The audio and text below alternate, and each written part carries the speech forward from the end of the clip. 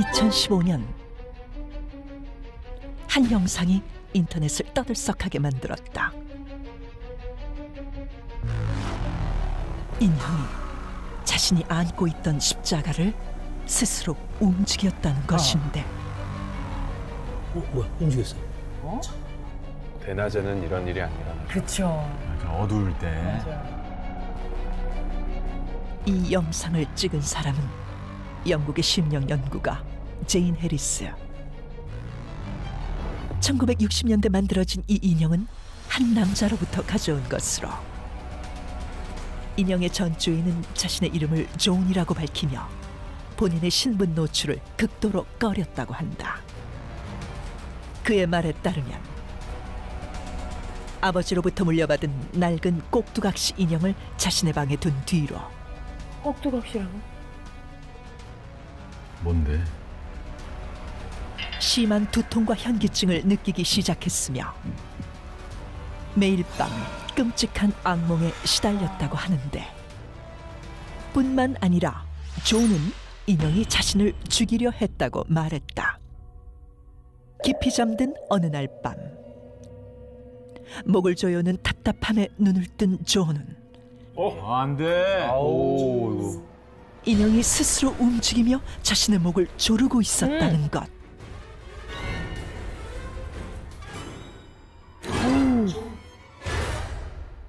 우시겠어요. 교수님. 아, 어떻게 울보야, 울보. 제인은 존의 꼭두각시 인형을 가져와 유리 상자에 가둔 채 어떤 물리적 영향도 받을 수 없는 상태에서 인형을 관찰하기 시작했고 유리 상자. 아, 근데 움직인 거야? 3개월이 되던 어느 날 정말로 인형의 움직임이 포착되었다. 제인은 17년 동안 심령 현상을 연구해 왔지만 이렇게 정확한 물리적 움직임을 관찰한 것은 처음이라며 놀라움을 금치 못했다.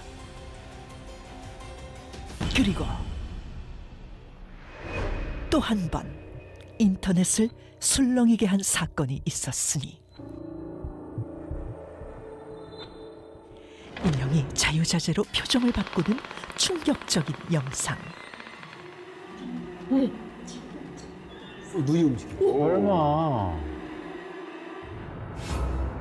영상 속의 인형은 1972년 멕시코의 M사에서 만든 소시라는 인형으로 팔을 돌리면 표정이 바뀌는 구조로 인기를 끌었는데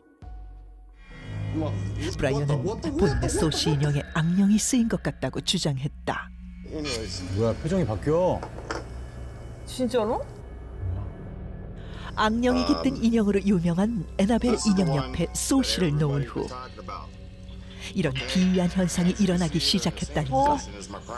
뭐지?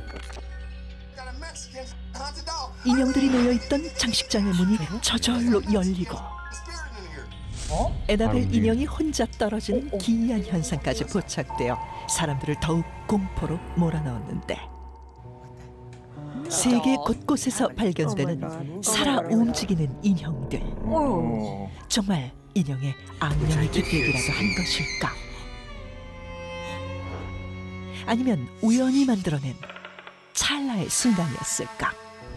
저는 쭉 보면서 단서들을 찾았어요. 그러니까 영상들을 보면서 일단 언제 인형이 움직이는 것처럼 보이는가 혹시 눈에 띄시는 게 있나요?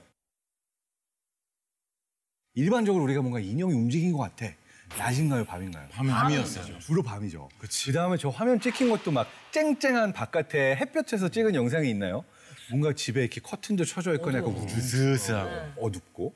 그러니까 이 첫 번째 원인 자체는 그러니까 우리의 시각 시스템에 기인하는 거다.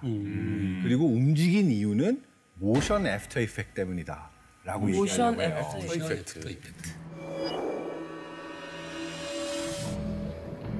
일단 우리가 늘 여러 정보가 빛의 형태로 우리의 망막에 와닿고 시각을 통해서 뇌에 전달되잖아요. 네.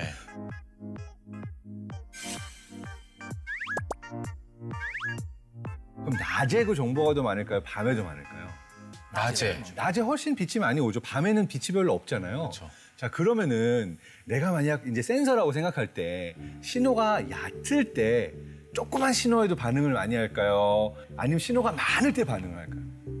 별로 없을 때. 없을 때지. 민감하게. 그러니까 밤에는 기본적으로 우리 시각 시스템이 뭐가 한번 좀만 있어도 움직이는 것 같이 느껴지는 이유가 깜짝 놀랐어. 신호가 별로 없기 때문에 역치가 내려가 있어요. 도서관에서 조용할 때 조금만 바스락거려도 되게 시끄럽게 맞아요, 들리는 맞아요. 것처럼. 어, 맞아. 그래서 기본적으로 우리가 일단 민감해져 있다.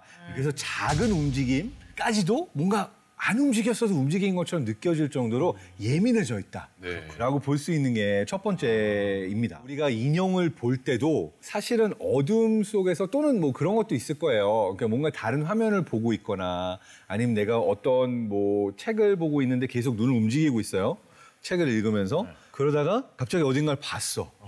그러면은 뭔가 안 움직였는데도 움직인 것처럼 보일 수 있는 것들이 있고 근데 진짜 공포 영화 같은 데서도 보면 왜 무서운 걸 볼 때 그냥 이러고 있다가 이렇게 봐서 어 이게 아니라 뭐가 막 나오잖아. 아, 맞아, 맞아. 내 움직임 자체가 약간 그렇죠. 근데 여기서 질문이 하나 있을 수 있죠. 뭐죠? 뭐냐면 폭포가 무섭나요? 아니요. 방금 움직였지만 오 신기하다 이렇지. 네, 맞아요. 무섭진 않았잖아요. 네. 그런데 인형이 움직이면 무섭잖아요. 왜 그러지? 그 이유는 우리가 타고나면서부터 뇌에서 어떤 움직임들이 살아있는 존재의 움직임인가 아니면 물질계의 움직임인가 이걸 다른 시스템으로 나누고 있다라고 하는 가설이 있어요. 아하. 근데 인형의 경우에는 사람처럼 생기기는 했지만 사실은 물질계이니까 혼자서 움직이지 못하는 게 정상이죠. 근데 얘가 갑자기 움직이는 것처럼 느껴지면 어? 얘는 원래 움직일 수 없는 건데 라는 걸 뇌가 알고 있는 상태에서 그 법칙을 깨니까 섬뜩한 거죠. 무섭지.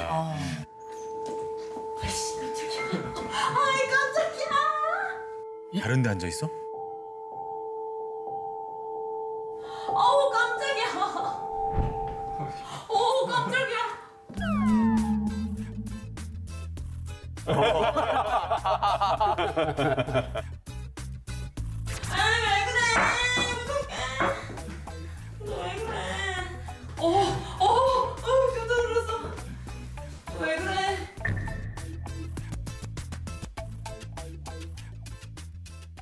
어느 정도로 찐이었냐면 욕 나올 뻔했어요. 진짜, 너무 놀래가지고. 진짜 봤을 때는 정말 놀랐어요. 근데 왜냐면 저 저주의 얘기를 듣고 이 인형을 받은 순간부터 얘를 앉혀놓고 뭐 리딩을 하건 계속 얘 움직임만 보게 되는 거예요. 그러니까, 그러니까 계속 어 움직인 것 같은데 움직인 것 같은데 이러고 얘가 눈을 계속 뜨고 있으니까 눈 마주친 것 같은데 계속 이런 생각이 들더라고요. 맞아.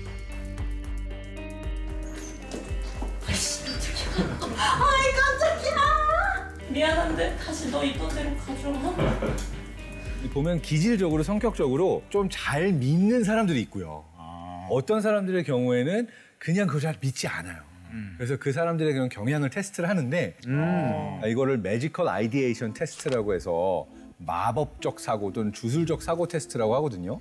행운의 편지 보내면 이거 분명히 스팸이다라고 우리가 다 알고 있지만 그래도 찜찜해서 사람들한테 막 보내잖아요. 보면 이런 마법적 사고가 조금 더 강한 사람들이 뇌에서 이제 여러 이벤트에 도파민 분비가 더 많이 되는 경향들이 있다라고 하는 이야기도 있습니다. 그래서 이거를 마법적 사고는 사실 누구에게나 조금씩은 있잖아요. 아까 행운의 편지 받으면 찝찝한. 것처럼 누구에게나 있는 레벨에 이야기가 쌓이고 쌓이고 쌓이면서 거기에 마술적 사고를 조금 더 많이 하는 사람들이 맞아 맞아 맞아. 나 이거 그렇게 본 것 같아. 라고 한 이야기가 또 가미가 되고 이것이 어, 좀 되다 인형을 보고 뭐 저주 얘기를 듣고 무서워하는 그런 거를 진행하지 않았나 생각이 됩니다. 공포심을 만들어내는 거군요. 그렇죠 만들어졌다. 어허. 옛날에 지푸라기 같은 거를 이렇게 해가지고 사람 모양으로 해서 인형 만들고 그런 거 있잖아요. 그다음에 이거 막 찌르고 네, 근데- 자기 원수. 네, 같은 실제로 제가 초등학교 때 누가 그걸 만들어서 줬었는데 뭐 저주 이런 건 아니고 귀엽게 생겨서 장난으로 많은데 이거 버리면 저주 받을까봐 실제로 몇 년 동안 저 집에 갖고 있었어요. 얘가 나 막 괴롭힐까봐. 웬일이야. 나 그러니까 제가 그런 데 되게 좀 잘 믿나 봐요. 그러네. 지금 뭐 웃으면서 이야기하지만 어마무시한 비밀이 어, 그래요? 있다고 합니다. 뭐야, 더 무서워요.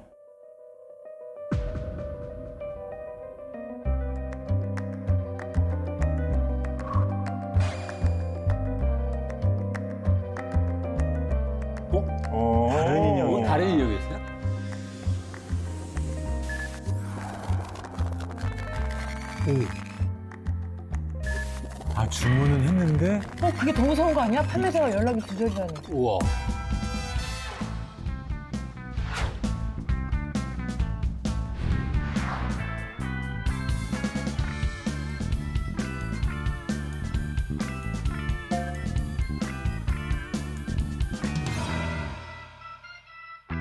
아 저주 인형이 아니었어 그러면? 저는 사기당한 거군요. 그러네.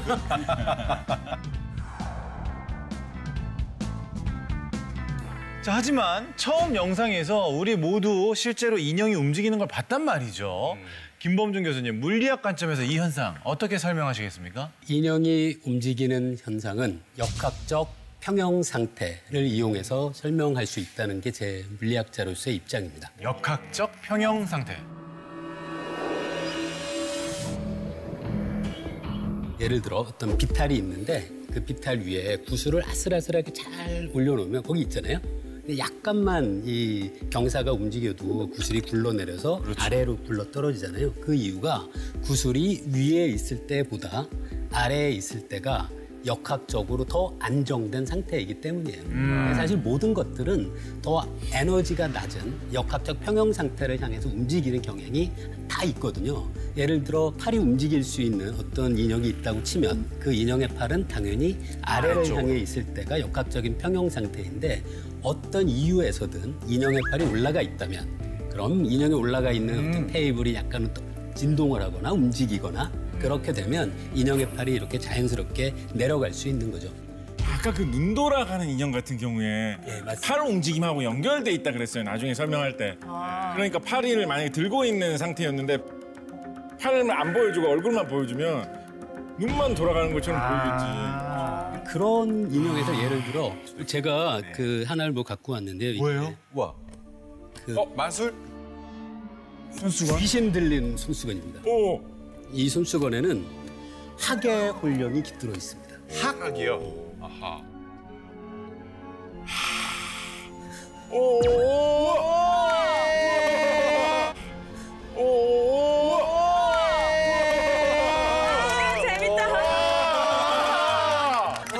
딱지들이에요. 아 저거 살려요. 하긴 너무 귀여워. 이 상태의 모습일 때가 지금 이게 더 역학적으로 에너지가 낮은 상태라서 이렇게 펼쳐져 있던 이 상태보다 나중에 학의 모습일 때가 에너지가 더 낮은 거죠. 근데 가만히는 안 되잖아요. 그래서 제가 이렇게 손으로 이렇게 몇 번만 하면 와. 이렇게 돼? 나 이거 처음 봤어요.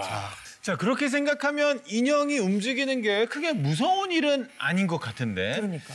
곽재식 작가님, 화학적으로는 또 어떻게 이 인형의 움직임을 설명하시겠습니까? 저는 이 인형의 움직임 네. 열팽창으로 설명할 수 있다라고 열팽창. 생각합니다. 모든 물체는 열을 받으면 온도가 올라가면서 부피가 어느 정도 늘어나게 되어 있습니다. 흔히 열차의 선로를 연결해 놓을 때 따닥따닥 붙여놓지 않고 사이에 약간씩 틈을 주면서 선로철을 배치를 해놓는데 그 이유가 여름철에 열을 많이 받았을 때 너무 늘어나가지고 서로 비틀리지 말라고 어느 정도 공간을 주는 거죠.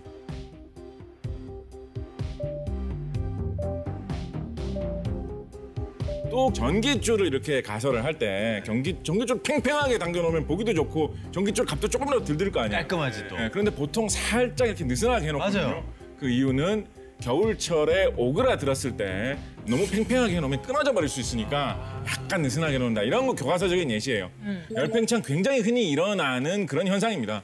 그것 때문에 모양이 변형되고 걸림쇠가 있는 부분, 관절이 있는 부분이 모양이 변형되면서 움직임이 달라진다.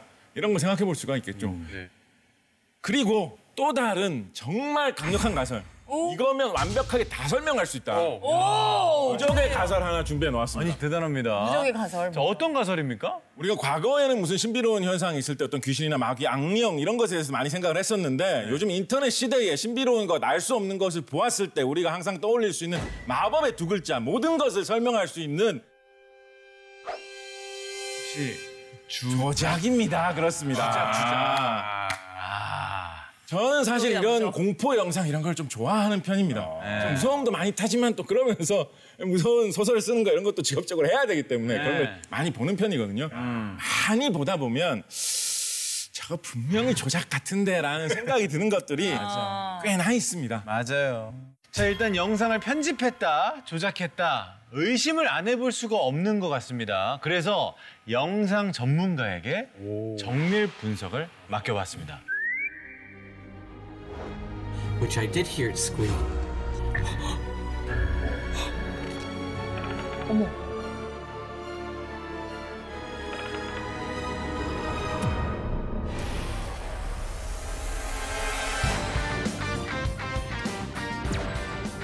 아, 헉, 저렇게 하나하나 다 분석을 해주시는구나.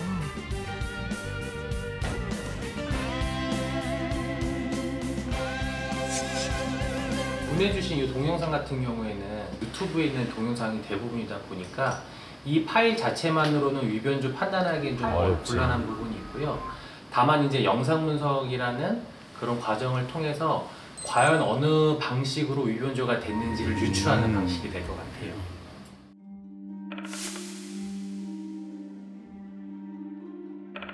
이거 만들 수 있어. 아 이거는 정말 아, 조작 같은데.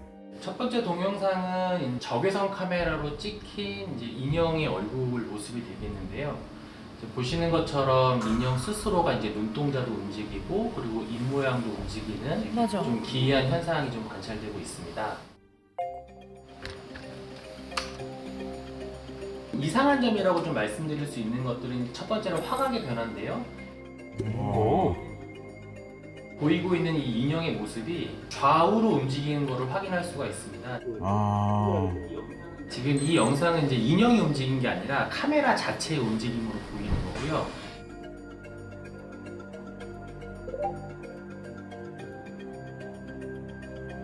아. 우와, 저분 대단하시다. 두 번째로는 지금 이 눈가에 보이는 이 흰색 광원이 급격하게 변화하는 광원을 보시는구나. 광원이 변한다라는 거는 이 카메라와 피사체 사이에 누군가가 있다라는 점을 유추해 볼 수 있는 거죠. 촬영 당시 사람이 개입됐을 가능성이 충분히 있다라는 점을 확인할 수가 있습니다.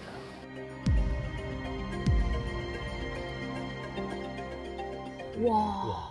야 전문가는 전문가시네요 대단하시다. 진짜. 어, 이건 뭐야? 어, 이 동영상을 이제 분석하기 이제 어려운 점 중에 하나가 이 동영상 자체가 굉장히 좀 흔들림이 있습니다. 아. 영상 처리 기법 중에서 안정화 기법이라는 그 알고리즘을 통해서 이 영상의 흔들림을 최소화해 보았습니다. 그래서 지금 이 보고 계신 장면이 그 흔들림을 최소화한 음. 장면이 되겠는데요. 이 손의 움직임뿐만 아니라 왼쪽에 있는 마네킹을 보게 되면은 마네킹 아, 역시 그러네. 굉장히 흔들린다라는 움직임이 걸 확인할 수 있네요. 어떤 누군가가 인위적으로 선반을 흔들게 된 거고 흔들린 결과가 인형의 손의 움직임이 발생을 하게 된 것이죠.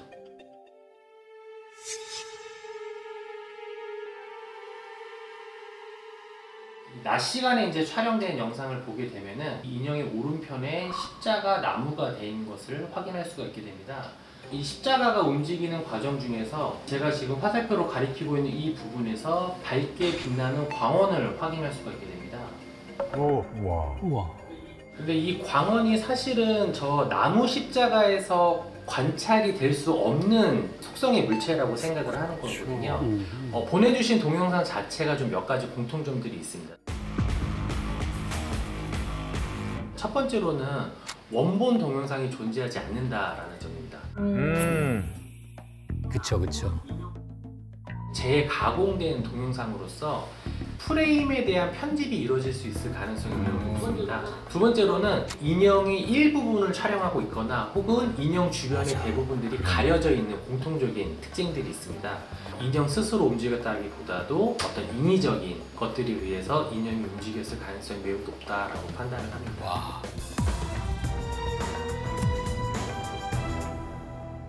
시원하다. 아, 속 시원하네. 시원하다. 사이다네요, 사이다. 역시 전문가. 대단하시다. 역시 전문가시다.